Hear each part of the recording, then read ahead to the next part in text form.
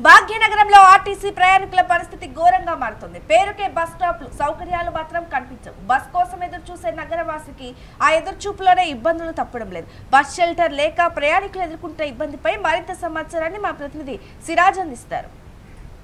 RTC bus ఎప్పుడు వస్తుంది? వస్తే ఏ టైంలో వస్తుంది? బస్సు కోసం వేచి చూడాలంటే ఇక్కడ కూర్చోవాలి? కనీసం నిలబడేందుకు ఆర్టీసీ బస్ స్టాండ్లు ఉన్నాయా? అంటే లేవని చెప్తున్నారు ఆర్టీసీ ప్రయాణికులు. నగరంలో చాలా చోట్ల ఆర్ బస్ స్టాండ్ లేక తీవ్ర ఇబ్బందులు తప్పడం లేదంటున్న ఆర్టీసీ ప్రయాణికులపై ప్రత్యేక కథను ఇప్పుడు చూద్దాం. ఈ రష్ బస్సు ఒక వెనుక ఒకటి ఆపడం దానివల్ల కొద్దిగా ఇబ్బంది అవడం పబ్లిక్ పబ్లిక్ పోయి ఆ బస్సు గురించి ఉరకడం ఇవన్నీ అవి యాక్సిడెంట్ బాగా అవుతున్నాయి. అలా కాకుండా కొద్దిగా మీరు పట్టించుకుంటే కొద్దిగా గవర్నమెంట్ నుంచి ఏదైనా ఈ బస్ స్టాప్ తీసేసి ఇంకో దగ్గర వేస్తే బాగుంటుంది. జనాలు ఎక్కువ ఇక్కడ. ఓల్డ్ సిటీ అంటే జనాలు ఎక్కువ. ఆ జనాల వల్ల ఇబ్బంది అవుతుంది. ప్రతి ఒక్కరికి ఇబ్బంది అవుతుంది. ఆ ఇబ్బంది కాకుండా కొద్దిగా గవర్నమెంట్ ఏమన్నా చేయాలి అని మేము ఆలోచన చేస్తున్నాం. ఇప్పుడైనా ఇక్కడ బాగా దొంగతనాలు విపరీతమైన ఫోన్లు నావి రెండు ఫోన్లు పోయినాయి. అక్కడ ఆ- స్టాప్ అంతే ఇక్కడ ఈ స్టాప్ అంతే. ఎవరు పట్టించారు పోలీసు కంప్లైంట్ ఇచ్చి తొమ్మిది నెలలు అయింది. పది నెలలు దాటింది. మళ్ళీ పోయి కంప్లైంట్ ఇచ్చి మూడు మూడు నెలల తర్వాత మీరు వచ్చి ఇప్పుడు ఏం లాభమో కంప్లైంట్ ఇచ్చారు మీరు. కంప్లైంట్ ఇప్పుడు ఏం తీసుకోలేదు అంటారు. మళ్ళీ నేను రిక్వెస్ట్ చేసి సార్ ఫలానా డేట్ రోజు పోయిందంటే అది దానివల్ల దాని గురించి మొత్తం అప్పుడు తీసుకొని ఒక ఆయన ఆధార్ కార్డు తీసుకొని దానివల్ల ఒక నియంత్రణ పాటించి మళ్ళీ నాకు వస్తుంది సార్ మీకు ఫోన్ దొరుకుతుందని ఆ సార్ చెప్పాడు. ఇంతవరకు రాలేదు. ఇలాంటివి ఎన్నో పోతున్నాయి. బీద బిక్క ఫోన్ అంటే ఇవాళ రేపు ఒక జీవితం అయిపోయింది కదా. దానివల్ల అది లేనప్పుడు దాంట్లో ఎన్నో దాచుకుంటారు పిల్లలు కాలేజ్ పిల్లలు కానీ దాంట్లో ఏదో ఉంటాయి. ఫోన్ నంబర్స్ ముఖ్యము. అవి కూడా లేకుండా పోతే మేము ఏం చేస్తాం? చేతిలోకి లాక్కొని వెళ్ళిపోతాం. ఇక్కడ షేడ్స్ కూడా లేవు కదా. లేదు. చేతిలో ఇప్పుడు ఇట్లా పట్టుకొని నిలబడ్డ కదా. లాక్కొని వెళ్ళిపోతాడు కదా. మొన్న పట్టుకున్నాం అట్లా. బాధ్యం కూడా.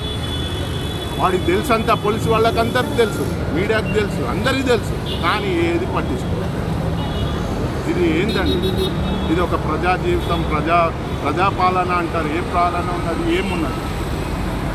ఏది ఏం ఏం చేస్తున్నారు గవర్నమెంట్? ఏం చేస్తున్నారు? ఏ ప్రజలు వచ్చి ఏ పార్టీ వచ్చినా కూడా మాకు ఏమీ లేదు. జరిగేది ఏమీ లేదు. బీద బిక్క ఎంతోమంది ఉన్నారు. నేను ఒక ఎంప్లాయీని రామచంద్రాపురం వెళ్తాను డైలీ ఇక్కడి నుంచి. ఈరోజు లేట్ అయింది నాకు బస్సులు లేవు. ఏం చేస్తాం? ఇబ్బంది పడాలి పోవాలి. ఉరుక్కుంటే ఎక్కాలి ఉరుక్కుంటూ పోవాలి. అది ఏదో అయిపోయింది. గత చిన్నపిల్లలు ఉన్నారు వాళ్ళ లైఫ్ ఏంటి? వాళ్ళ లైఫ్ గురించి మాట్లాడు. ఇది ఒక ఉక్రేషంతో చెప్పట్లేదు ఒక పార్టీని విమర్శించడం లేదు ఒక మంచి గురించి మా రేవంత్ అన్న వచ్చాడు. ఏం చేశాడు? ఏం చేస్తున్నాడు? సబ్సిడీ అన్నాడు. మేము రెంట్కి ఉన్నాము కరెంటు బిల్ కట్ అవుతుంది. కట్ అవ్వట్లేదు. పోనీ ఒకటి వచ్చింది కదరా అనుకున్నాం. ఇంకా ఏం లేదు. ఆ సబ్సిడీ అన్నాడు గ్యాస్ అది లేదు. ఏంటండి ఏ ఏ నాయకుడు వచ్చినా కూడా ఏమీ జరగట్లేదు. ఇబ్బందే ఉన్నది. ఇది ఇబ్బందే ఉంది మాకు. ఉన్నది ఇప్పుడు. చాలా మంది నాయకులు వచ్చి పోయిరు వాళ్ళకు కూడా తెలుసు తెలియదని కాదు. బస్ స్టాప్ లేదు మూత్రశాలలు లేవు ముఖ్యంగా. వర్షం పడితే ఎక్కడెక్కడో పోతున్నారు.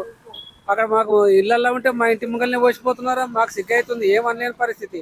మరి నాయకులకు మూత్రాలు రావా? మరి పోయారా? అది తెలియదు. బస్ స్టాప్లో అయితే ఎక్కడ నిలబడాలో తెలియదు. షాపుల దగ్గర నిలబడుతున్నారు. లేవు. మాకు ఇబ్బంది అవుతున్నది. చాలా చాలా ఉన్నాయి. ఇవన్నీ చూస్తున్నారు.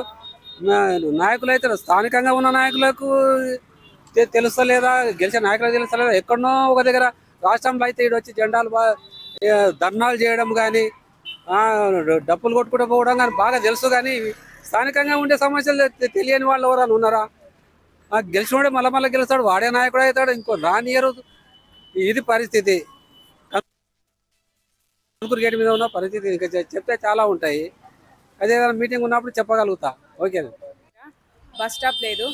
చాలా ప్రాబ్లం అవుతుంది. ఎండ వచ్చినా ఇప్పుడు సమ్మర్ వస్తుంది. ఎండాకాలం చాలా కష్టం అవుతుంది ఎండ నిలబడాల్సి వస్తుంది.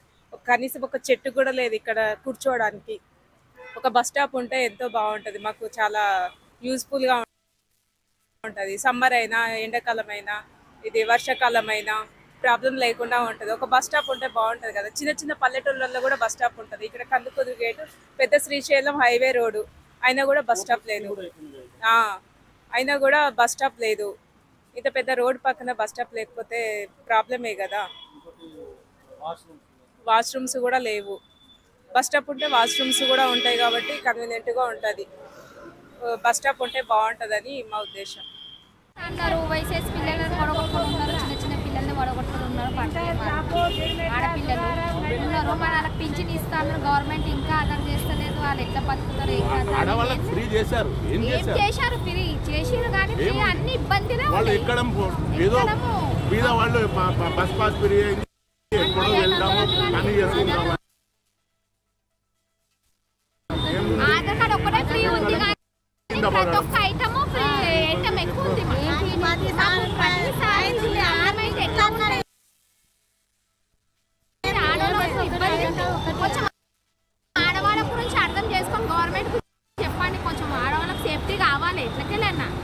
చిన్న చిన్న పిల్లలైనా పెద్దోళ్ళైనా పింఛన్ ఇస్తలేరు రాషన్ ఇస్తలేరు గ్యాస్ ఐదు వందలు అన్నారు దానికి ఇస్తలేరు ఏం చేస్తలేరు అది బుకింగ్ అన్నారు ఇది బుకింగ్. ఏరు కట్టడానికి ఓట్లు వేస్తూనే ఉంటాం. మళ్ళీ అదే అన్నారు మన బెడ్రూమ్లో అన్నారు అవి ఇస్తలేరు. ఏదంటే అది అప్లై చేస్తున్నాం ఎక్కడ పడితే అక్కడ పోతున్నాం. మరి ఇంకా టూ మచ్ ఆడవాళ్ళని తీసుకోవడం కాదు. ఇప్పటికైనా ఆర్టీసీ అధికారులు స్పందించి ఆర్టీసీ బస్ స్టాండ్లో నిర్మించడమే కాకుండా వసతులు సౌకర్యాలు కల్పించాలని డిమాండ్ చేస్తున్నారు ఆర్టీసీ ప్రయాణికులు. కెమెరామ్యాన్ విజయ్తో సిరాజ్ సివిఆర్ న్యూస్ హైదరాబాద్.